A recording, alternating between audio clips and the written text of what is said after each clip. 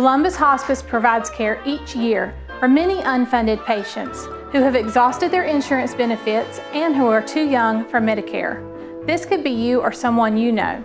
Visit columbushospice.com to learn more.